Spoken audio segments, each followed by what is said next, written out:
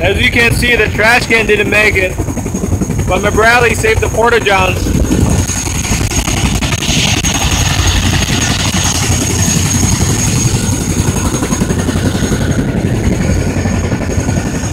Chinook came down with pretty strong winds.